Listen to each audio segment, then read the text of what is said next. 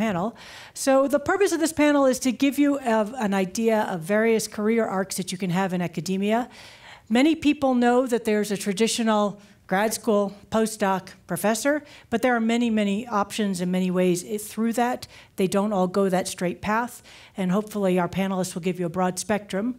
We're focused on academic careers in the United States mainly because most of you are going to be looking for jobs in the US. That doesn't mean we're trying to exclude other places and other countries. It's just that that's the major interest, and it's other countries, there are many things that are very specific to them.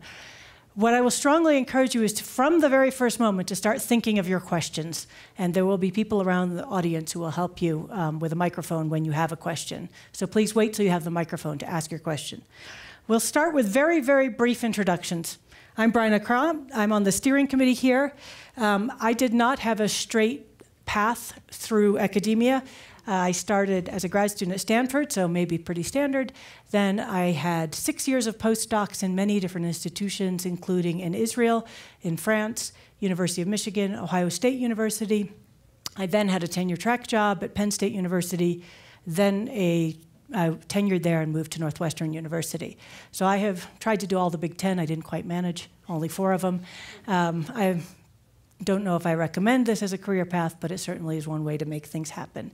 I've had many other jobs, both here on the steering committee, um, in the American Math Society, and chair of my department, chair of every committee in the department, and many other such things. And let me turn it over to Diane.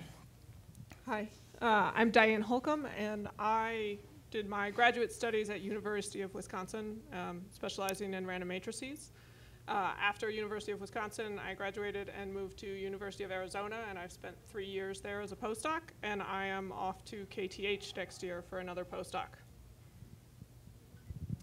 Hi, my name is Firas Rassoul-Agha. I did my well, undergrads in uh, Paris, École Normale, and then uh, I uh, did my graduate studies at NYU, uh, Courant Institute, then did a postdoc at Ohio State, um, then uh, went on to Utah, so I'm local, um, and did you know assistant, associate, now I'm full professor.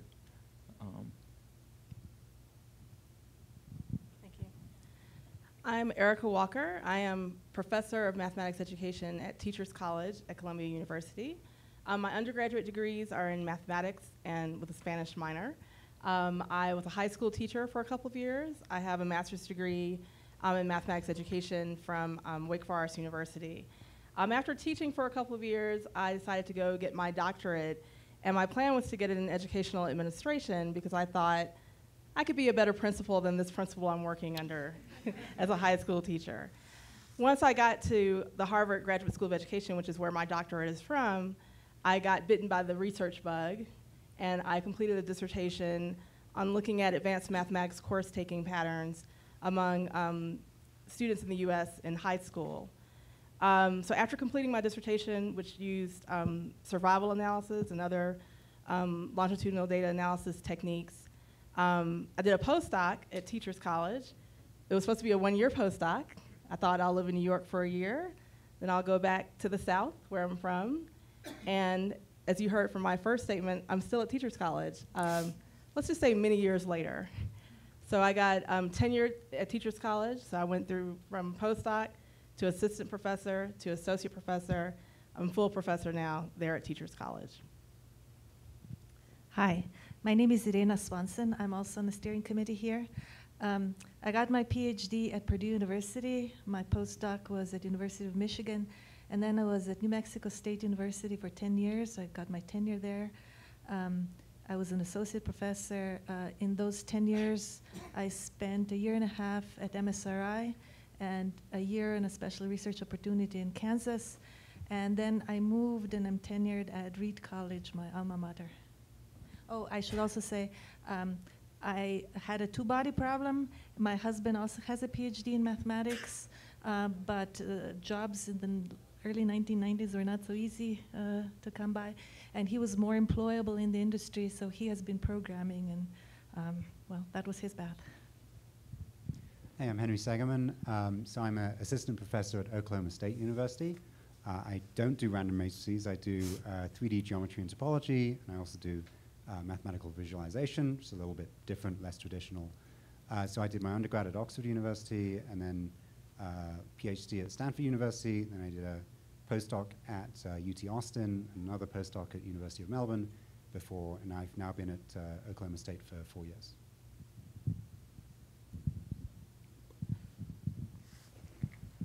Hi, I'm Ivan Corwin. Um, did my undergrad at Harvard in math. I got a little disillusioned by how algebraic everything was, so I worked in finance for a year after that. Came back, uh, did my PhD at NYU. Um, was there for a few years, and then traveled for a year, spent time at MSRI, and then did a postdoc, uh, one year at Microsoft Research, two years at MIT, and then came to Columbia, um, I guess, with tenure, and two days from now I get full.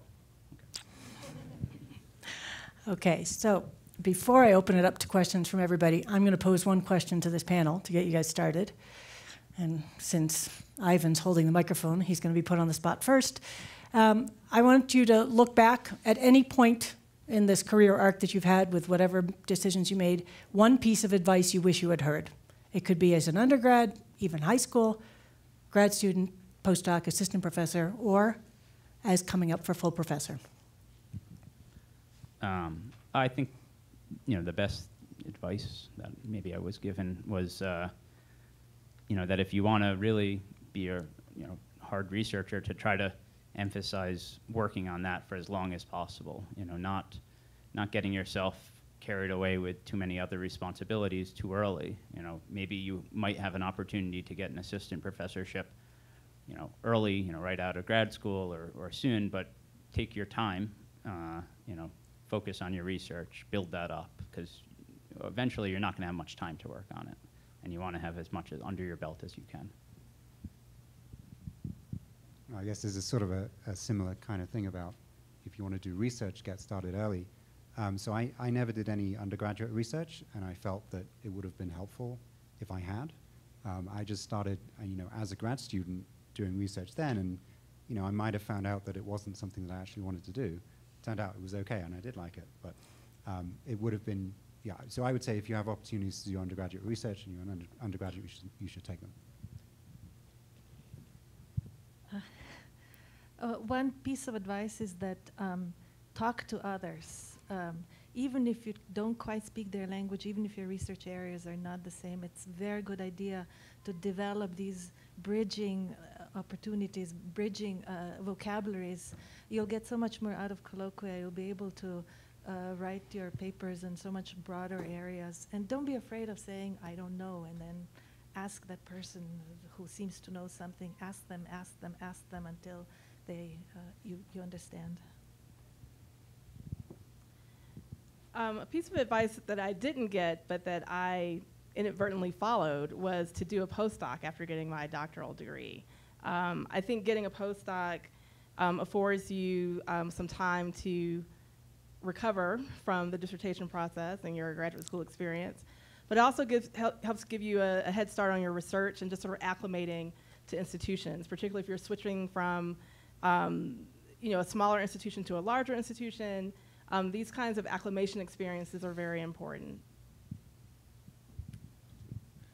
Um, okay, so uh, back when I was at NYU, I um, well, the first couple of years I did well in the in coursework and so on. But it was about time to choose um, a field, a research field to work on, and uh, I had really no idea. I liked what I was doing, and uh, but I had no idea. So I went around and talked to professors uh, to see if you know they can give me advice on how to pick uh, my research topic.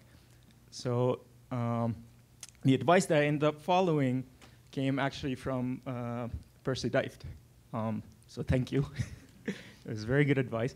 Uh, so the uh, the advice was go back tonight and think about what courses you took uh, that you enjoyed, not just you got A's in them, because you're going to do this for the rest of your life. And so I went back and uh, um, decided probability theory was the thing that I enjoyed most. And uh, well, now I'm a probabilist. Um, so, so that's one thing also, like uh, starting research early, but also um, pick something that you you're going to enjoy because there are going to be lots of down, downtimes when uh, you know the, just you don't you have no idea of how to solve the problem you're working on, and um, the, these could be really bad times sometimes, um, and so you you, you want to be enjoying uh, what you're doing.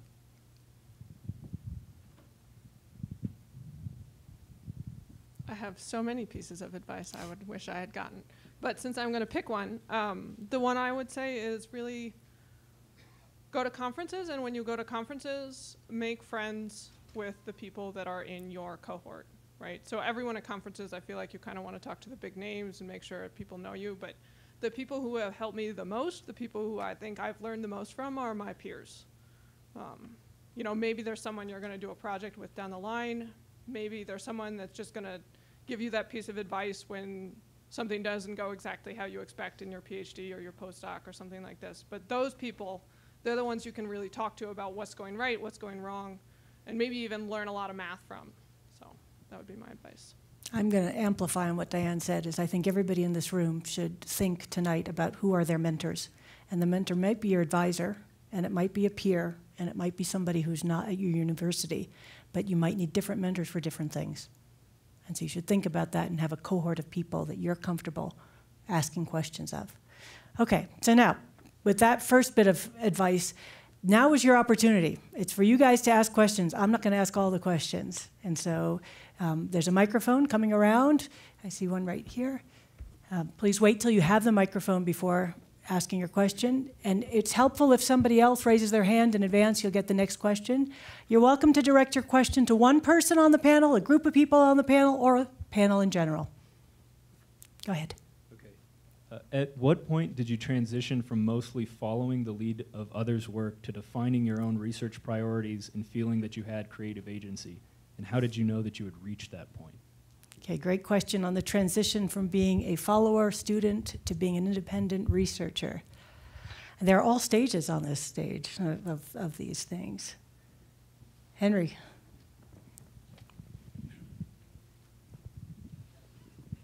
So, uh, so for me, I think it was some point during grad school when I realized that my advisor's interests and my interests were not quite the same.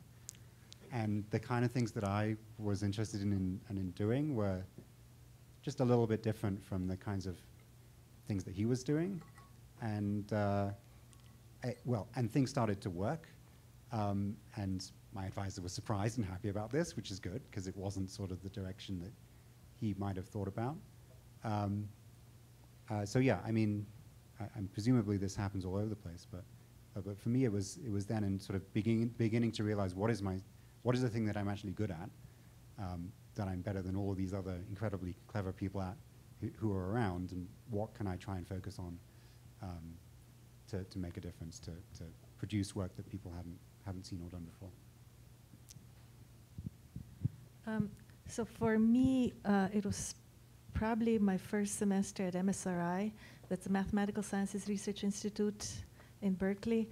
Uh, there was a special program, and uh, it was in commutative algebra, computational uh, aspects of it. So it was a little bit outside of my area, but that's where I felt that I was talking to these people who are not exactly in my research area, but I had things to contribute, and um, so that's where I felt independent.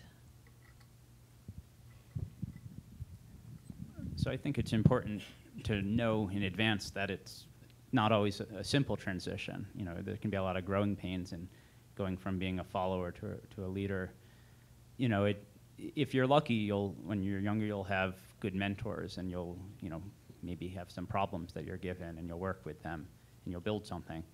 Um, it's tough, you know, to go from being fed ideas and questions and problems to producing and because no one's going to tell you, you know, is this a good idea? Is this something that is going to take you far? Is this an approach that's going to work?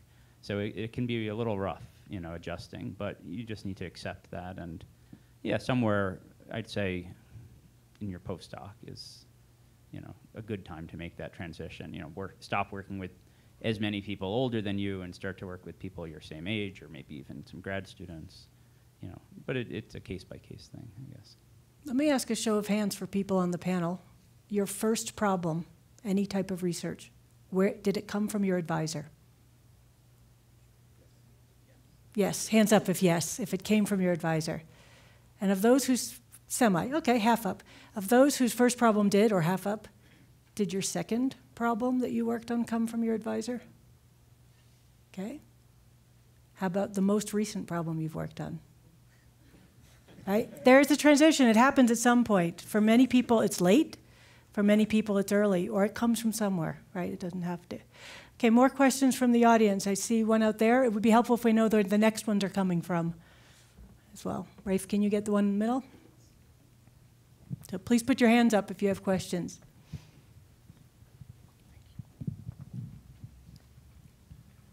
Um, from when you started your uh, graduate studies to now, how did your uh, definition of sort of what a goal was, and how did the goals that you had for your career um, change over time?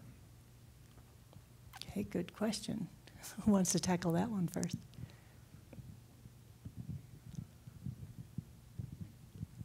Do, do you, do you mean to the goal as in a career goal? Um, well, I mean, quite often the goal is, can I get another job when this one finishes? That's a pretty good goal. um, uh, well, and then I, I don't know. I mean, I'm not sure I have a good answer for this. It's like, well, at first it was, well, I should do a postdoc, and then I found, you know, you put out however many applications and managed to get a postdoc. Great, it was a pretty good one. And then, actually, there was a there was a transition. Um, my second postdoc, I actually found out really late in the process. My first post postdoc was basically over.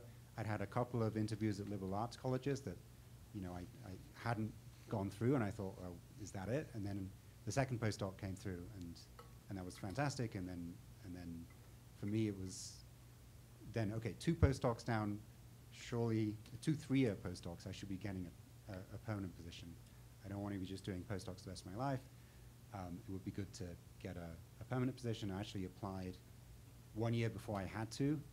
Um, so in the second year of my postdoc, I applied for positions and got one, uh, and got my, the position I'm in now that I deferred for another year. So, right, get a job, get a permanent job. That, I guess that, that, was, that was my sequence of goals.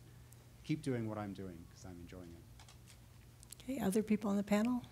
Irena, Erica, comment on goals? So um, I went to graduate school because uh, I wanted to teach uh, college. I, I, I, always liked my teachers. For in first grade, I thought I wanted to be a first grade teacher, and then it went like that. And when I got to graduate school, I said, "Oh, actually, I like research." So um, so my, my goal changed in graduate school. And then uh, in my postdoc years, I thought, I never want to move again. I just want to go sit somewhere and get a jo permanent job. But then when I got my tenure track job in New Mexico State, like every other year we moved. Our son lived in 13 different houses by the time he was in seventh grade. It was like, yes, let's go there, let's go there. Um, now I'm more sedentary again. Uh, I want to stay in one place. Um, but uh, as research-wise, there was a period when I had this pile of problem, and I thought, okay, when I just finish this pile of problems, but but then every time you finish a few of those problems, then the set of your your pile increases with new problems. So um, I guess I'm getting more realistic. That yes, I have a few problems I'd like to solve, but but maybe I, I won't. I do think that sometimes your goals um, change in graduate school. So as I mentioned, you know, I thought I was going to be a high school principal, which still would be a great job, and I think I'd be very good at it. But um, you know, you when you're open to new things and experiencing new ideas, sometimes your priorities shift. And I think it's a good idea to always be open to that. So even um, I, once I decided to go into educational research, I knew I wanted to be a professor. Um, but even my sort of research goals shifted over time because you're exposed to new ideas from different faculty, from your students. And so the areas where I started my research in are now, um, they're related, but they're, they're different than what I expected. And um, I, th I, think they're good, but um, there was a definite shift. So I think it's good to have a plan. You should always have a plan, but you should also be open to opportunities as they present themselves. New ideas, new areas of research, um, and to continue along that way. Gareth? Um, yeah, I guess the goals evolve with you. Um, you know, at the beginning, my goal was just to get the, through the next exam. um, but then, well, now, for example, my goals, well, research-wise, I have a few problems, too many maybe, I'm working on. Um, well, if I could get any one of them, I'd be happy, and then look to, towards the next one and so on. Uh, but also, th- there are there's the department that I'm part of, and then there are goals to you know to improve the uh, group, to you know serve the department and so on. And uh, there's also balance family and. Uh, so, so I don't know what exactly if you're asking about the goal academically or like in life. That there just uh, a lot of goals, and uh, I'll be happy to get any one of them. Good. So we've had a lot of questions about research arc. Um, there are many other aspects of a career that you might want to think about asking questions of how to apply for particular types of jobs, what you should be doing now to prepare for that. Um, there have been several people who brought up balancing family and, and career. It's been hidden in many of the comments for many of the people. Okay, so I open up to the next question. Do you guys? Um, Rafe in the back there, and then next, next it's going to be up here. Keep your hand waving. The person in the back, yep, right there. Well, uh, so listening from your stories, I know like it's quite common for people in academia to just move around all the time. So how do you juggle with this like constant change of environment and constant change of places? Because sometimes like even in United States, you, you might be moving around, but sometimes you might even be moving to different countries and different cultures. So Diane, we might put you on the spot as somebody in the middle of such a move. Yeah. Um, uh, it's hard. I mean, that's the short answer. Um, it depends a little bit on your family situation. It depends on your academic situation. Um, for a lot of people, I know postdocs are really lonely because you move there and you don't really know anybody and there's usually not that many postdocs around. It can help if there's a lot of postdocs, but um, you don't really meet the grad students, right? It's not like grad school where you go and you have classes and you do homework together and all this stuff. Like you just are there and you're sort of in your own little bubble doing your own little thing and you go a little crazy. Um, so I would very much encourage you to make sure you take the time to put down some roots wherever you move. I think it's really easy when you take these temporary jobs to just be like, well, it's just not worth, I don't know, finding this group that does this activity you're into. Maybe it's some sort of sports like ultimate frisbee, or maybe it's music, or maybe it's learning a language or whatever. Like, find those things and do them. Um, it's really important.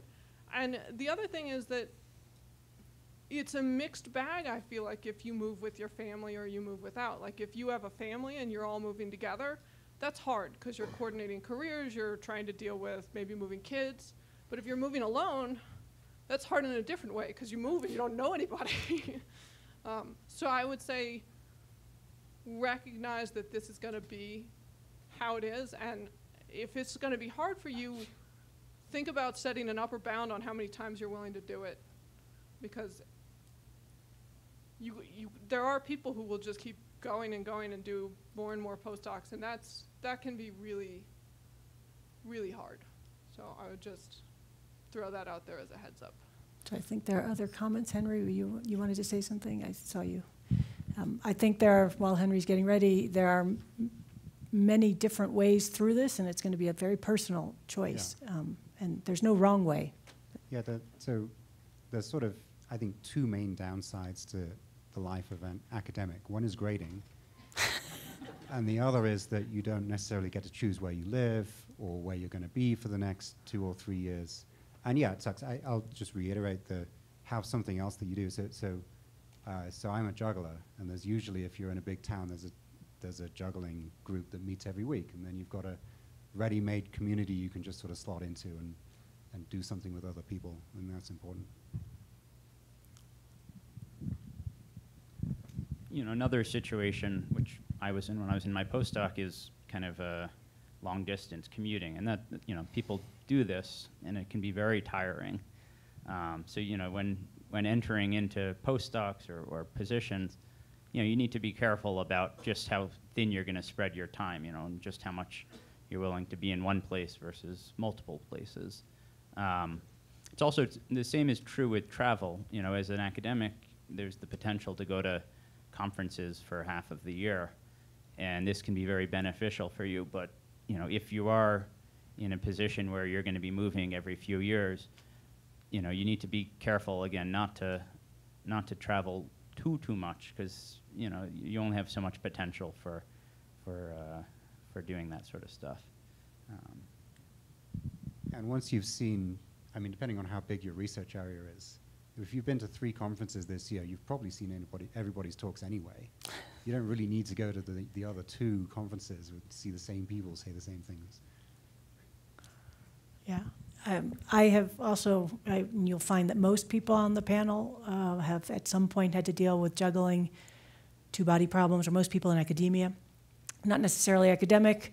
Uh, I did four years of commuting, and perseverance made it pay off that we ended up with jobs in the same city. It is helpful in getting individual advice on this from somebody, and so I think it's really helpful to have one of your people in your mentor group who you can turn to, to for advice on that, separate from research, but it's a big issue. I just wanted to comment one brief thing. Um, so for me, it was easy to move around uh, because uh, I had a permanent job in New Mexico State. So once you're settled, a move is so much easier than when you have to move and then you don't know when you'll be two or three years after that. So uh, I mean, it's necessary to move earlier in your career before you have a permanent job, but it's so much easier to do it later. And also, my husband is a little more flexible. He can work uh, long distance, so he's sometimes he would come once a month for 10 days, or sometimes he actually moved with us. Should we move on to the next question? I think it's up here. Uh, for those of you who took time between undergrad and grad school, how did you handle the transition back to grad school, and do you have any experiences you regret or are thankful for from that? Well, first of all, um, I thought that for me, taking time out of uh, you know graduating undergrad was an excellent decision. Um, you know, you work really hard. You kind of you know, head down through uh, undergrad, and I saw people when I was already in grad school who kind of kept going and came into grad school, and then they kind of looked up and they realized, you know, I'm going to be here for four and a half years. What the hell am I doing? And you know, because they hadn't thought about what it is they really want to do, and it's hard to do that when you're an undergrad. Um, so taking a year, I think, is is a great option. Um, you know, and trying something maybe in your area, maybe not, maybe something totally different. Um, I was scared when I started up again. Um, I felt like I had, you know, a year out. I couldn't remember half of the math that I thought I had learned, um, and I, you know, I thought when I was coming to grad school that, you know, okay, you know, this isn't going to work. Um, and you know, like anything, you just adjust back to it. So you need to give yourself some time. You need to. Uh, it also helps because you have, a, in a sense, a little bit of a chip on your shoulder. You know, you feel like you're coming from behind because you've you've been out a little. And I actually think having a chip on your shoulder is generally a, a helpful thing in, in academia in the sense that you always want to feel like you're coming from behind because you know it, it makes you work harder. Um, so I, I, I would encourage considering something like that. Erica, do you want to comment? Um, it's hard to say because I graduated from college and immediately drove to this master's program in Wake Forest, which was a teacher preparation program. So I feel like everything was just sort of very seamless for me in terms of um, my adjustment. So when I started graduate school um, at Harvard, I've always loved school and loved learning. So I was just thrilled to be there and happy to be back in that environment. So I don't feel that I ever really left um, school, really, and I guess in a way I didn't. So. Anyone in the audience who took a year off who wants to make a comment? Took some time out, did something non-traditional? Not trying to put anyone on the spot, but I do see someone back there. We could get a mic to have a comment. And then while he's preparing, anyone get a next question ready in the audience? Can I see any hands? Okay. Um, yeah, I took uh, four years in between undergrad and doing a PhD. Um, I did a master's degree in a totally unrelated subject, and then I, I had a series of jobs. Uh, I uh, was a software engineer for a little while. I was a freelance writer. I worked in finance for a bit, and then after kind of feeling like I, I, I couldn't get away from math, I was still like trying to read math a lot in my free time. Uh, I, I- I figured that maybe I should just actually go to grad school. And I, I had a similar experience to what Ivan described. Being, you know, I, I remember two years ago uh, trying to work back through Baby Rudin and trying to figure out how to take a limit again, which I couldn't remember. Learning about the root test and the ratio test and like you know convergence of sequences. Uh, and I, I, I do really agree that one having the chip on my shoulder kind of helped as, as a source of motivation, but also I think that taking time off was a, a, a really good idea just because it's completely changed my orientation towards my work psychologically. And I think that I'm much happier than a lot of people who didn't take time off because I, I know, for one thing, that I'm there by choice. I think that a lot of people who want to pursue a career in mathematics decide immediately to go to grad school because they just sort of pick up from the culture around them that that's what the good students do. And they pick up this ludicrous myth that you have to make your mark by age 30 or something.